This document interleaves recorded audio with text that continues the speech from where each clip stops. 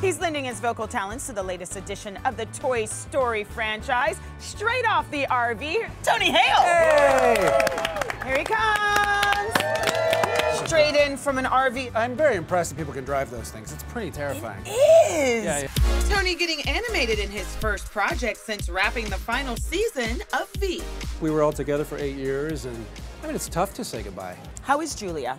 She's fantastic. You know, she walked through a really difficult journey, and this is why I loved it. Many times you're watching the news and you're like, I want to laugh, but I feel guilty for laughing. Veep was an outlet where you didn't have that guilt attached to it, where you could laugh. Bringing laughs to kids alongside Tom Hanks and Tim Allen in Toy Story 4.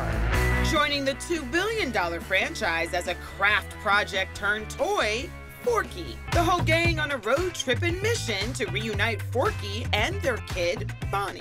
And then this is also Woody's adventure outside of Bonnie's playroom. So his job is to kind of find Forky and help him realize that he has purpose. Be sure to watch and listen for Tony's portrayal of Forky in Toy Story 4 in theaters June 21st.